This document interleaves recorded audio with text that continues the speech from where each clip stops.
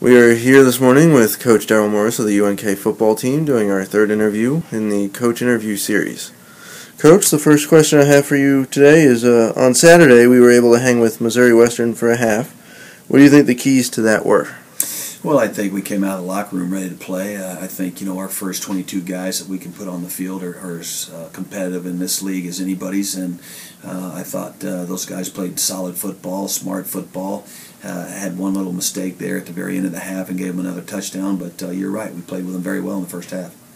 Okay, and um, with Northwest Missouri State coming to town, this adds another tough opponent to our already tough schedule. Yeah. It's arguably the toughest in the uh, country. How has that affected your coaching or scheming? Well, it hadn't really affected the, the, way we coach or the way we scheme anything. I mean, we try to prepare each week for whoever we're playing and try to do the best we can to get a game plan in place that will allow our kids to be successful. Uh, you are right; they are a very, very good football team, well coached, uh, talented, and it's going to be a challenge for us. But we really haven't changed anything about the way we approach games or the way we uh, try to uh, game plan.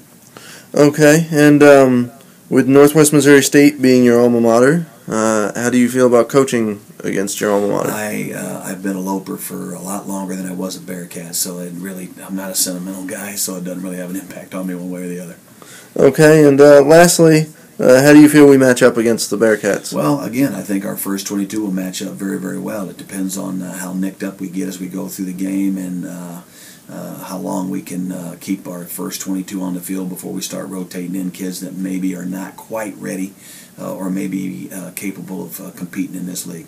Okay, and uh, hope to see everybody out there on Saturday for a Loper victory. It's going to be a big crowd. Come out and enjoy it. All right, thank you very much, Coach. You bet.